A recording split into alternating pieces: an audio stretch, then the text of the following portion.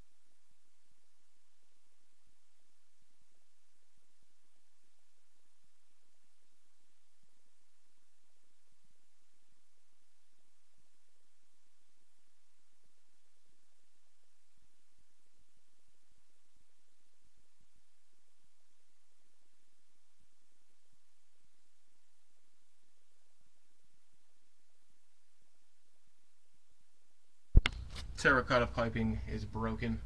At this section, we can see at the bottom of the screen.